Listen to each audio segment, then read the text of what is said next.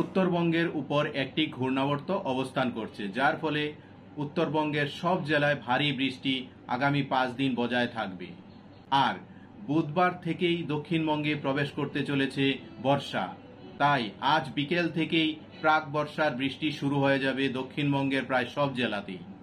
এ নিয়ে আবহাওয়াবিদ সৌরিশ বন্দ্যোপাধ্যায় কি জানিয়েছেন এক নজরে জেনে নেওয়া যাক।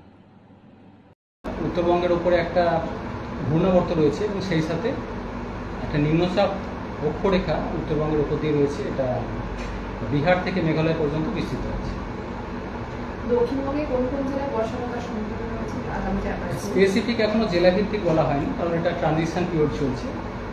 উইন্ড ডাইরেকশন অলরেডি চেঞ্জ হতে শুরু করেছে তো কিছুটা পোর্শনে চার পাঁচ দিন প্রবেশ করা সম্ভব বর্তমানে মেন বৃষ্টিপাত রয়েছে উত্তরবঙ্গের উত্তরের জেলাগুলিতে। ভারী বৃষ্টি কন্টিনিউ করবে। আগামী তিন দিন জলপাইগুড়ি, কোচবিহার, আলিপুরদুয়ার এই সাইডটায় ভারী থেকে অতি ভারী থেকে অত্যন্ত ভারী বৃষ্টিপাতের সম্ভাবনা থাকছে।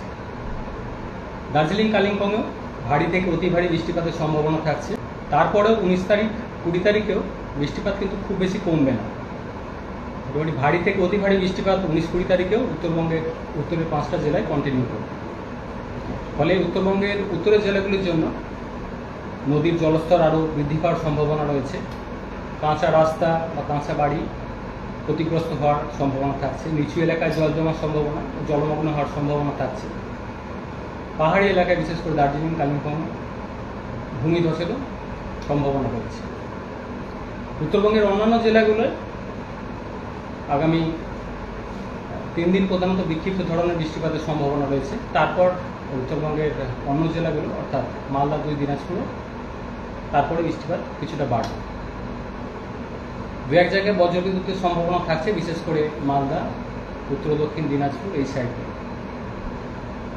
দক্ষিণবঙ্গের জন্য সাধারণত বিক্ষিপ্ত বৃষ্টিপাতের সম্ভাবনা রয়েছে। বিশেষ করে পশ্চিমের জেলাগুলো কিছুটা বেশি থাকার সম্ভাবনা।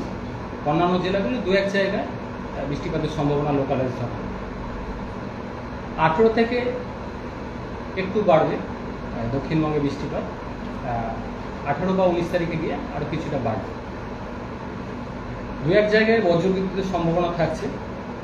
সাথে দমকা হাওয়া চল্লিশ থেকে পঞ্চাশ কিলোমিটার প্রতি ঘন্টায় বিশেষ করে পশ্চিমের জেলাগুলো প্রভাবটা কিছুটা বেশি থাকে বজ্রবিদ্যুৎ কোথাও কোথাও কিছুটা তীব্র হওয়ার সম্ভাবনা থাকছে, বিশেষ করে পশ্চিমের জেলাগুলিতে। যেহেতু এটা বর্ষা আগের মুহূর্তে বা আগামী চার পাঁচ দিনে কিছুটা বিশেষ দক্ষিণবঙ্গে কিছুটা পোর্শনে বর্ষা প্রবেশ করার সম্ভাবনা থাকছে। উত্তরবঙ্গের যে বাকি জেলাগুলো রয়েছে, মালদা, দুই দিনাজপুর সেখানে বর্ষা আগামী চার পাঁচ দিনে কিছুটা অগ্রসর হওয়ার সম্ভাবনা থাকছে।